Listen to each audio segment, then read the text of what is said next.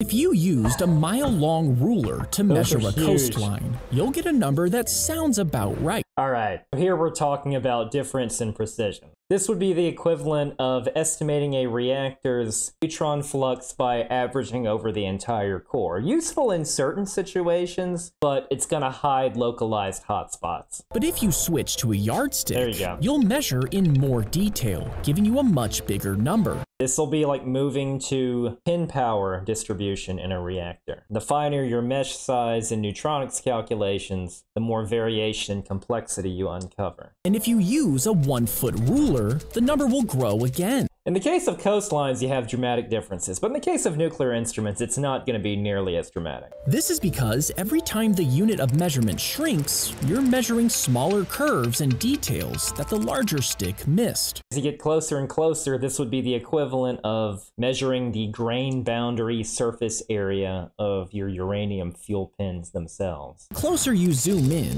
the more detail you see, and the more curves there are to measure, meaning the length of a coastline keeps getting longer, almost like it never ends. Kind of like fractals. Mathematically, you could keep subdividing, but practically, though, the cutoff is going to be the individual grain of sand size, assuming you even want to get close to that precise, or the individual fuel pin in the case of the reactor.